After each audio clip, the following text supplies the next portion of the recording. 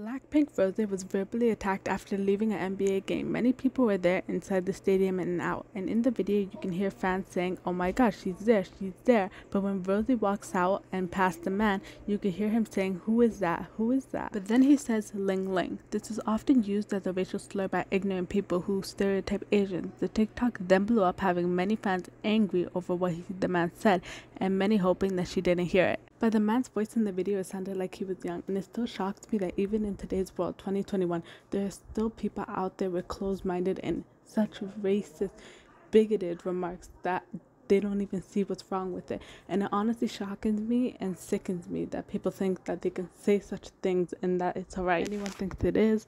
I severely want you to rethink your mindset.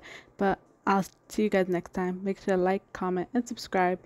And just make the world a better place, guys. Be nice to each other. And if you see someone do this in real life, call them out on it. See you guys next time. Bye.